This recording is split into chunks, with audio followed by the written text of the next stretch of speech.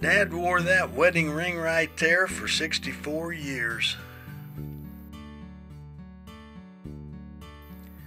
Way back when this picture was taken, he lost it once where we lived in Winterset, Iowa. I was with him when he discovered it missing from his finger, and I was with him when he found it again in a work glove a couple of weeks later. The rest of his life, he never took it off. I kept it in a box after he passed away in 2016. But a while back, I got to thinking that I should wear it to honor his 51 year marriage and family legacy.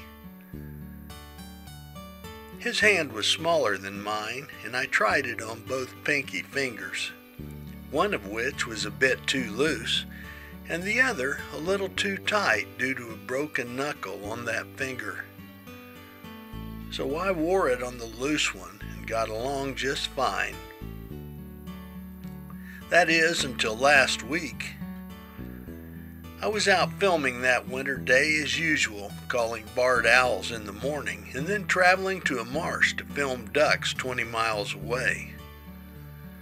There were a few stops in between. After a fine day outside, I headed home and suddenly noticed the ring was gone. It had apparently slipped off somewhere as I worked outdoors.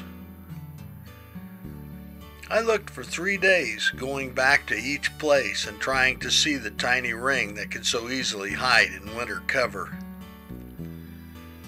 No luck. And I figured the ring was gone for good. But today I borrowed a metal detector and tried again at the duck marsh, having no idea if this was even where I lost it. The detector beeped again and again as I swept the ground along my earlier path, probably sensing buried wire from an old fence. And finally, just before I quit looking after half an hour, it buzzed again. I stooped down, and there was the ring hidden in the grassy tangle, a tiny glint of gold in yellow straw.